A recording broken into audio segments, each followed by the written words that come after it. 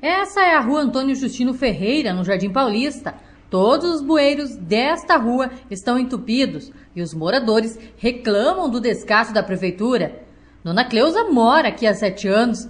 A casa é própria. Ela diz que sempre é a mesma coisa. Os moradores procuram a prefeitura e nunca são atendidos. Sete anos, mesmo problema. E fala com eles, aí eles vêm, ó, agora tá com cinco, seis meses e eles que fizeram recapação. Não fizeram nada. Falamos do bueiro. Veio os caras, ponharam a grade, mas desentupir, até agora nada. Um dos bueiros aqui até cimento foi colocado porque, pelo perigo que apresentava. Foi tapado porque caía gente bêbado, caía criança, cachorro.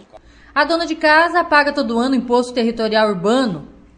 Com o carnê em mãos, ela disse que a prefeitura cobra, mas quando a prefeitura é cobrada pelos moradores, nada acontece. O, o EPTU, antes dele sortar, ele já fala, ó, é, tal dia, tal mês vai sair o EPTU. Então, daí você já está sabendo o seu compromisso, porque o dia que acontecer, que nem aconteceu agora, e está tudo esburacado, aí você tem então o direito de reclamar uma coisa que você já pagou por ele. Então, é esse o problema dos moradores. O que a senhora espera da prefeitura? Ah, eu espero que eles venham e caprichem nisso aqui. Tem que ser, ah, é, é o lugar que tem moto, tem carro, tem criança, tem que ser zelado. E já tem um asfalto. Então, que eles zelam do que tem feito. Não ficar pior.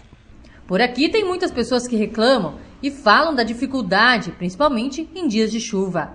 Acho que a gente, que dar uma melhorada, né? Precisa limpar os bueiros. Precisa limpar. Como, quando, quando chove, o que, que acontece aqui na rua? Entope tudo, junta tudo quanto é lixo aí. Na rua aí, e, e esse mato ali, ó, quando tá sol quente não dá para deixar... Os monetas sempre vêm aqui brincar aqui, vem e cobre ali no, no quintal aí, ó. Você tem que limpar e organizar. Gosto, né? Que a gente limpar e organizar. Nesta outra rua, a situação ainda é pior. A cada vez que chove, aos poucos o asfalto vai sendo carregado pela água.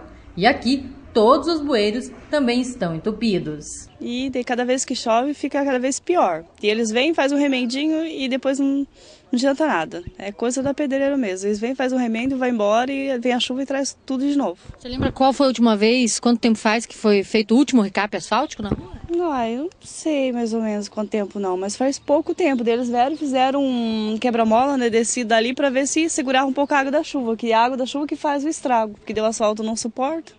E daí estoura a boca de lobo, tudo, a casa vizinha ali encheu tudo o dia da, da, da chuva grande.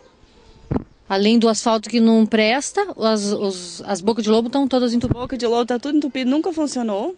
E também eles, sei lá, eles fazem um remendo só com o resto.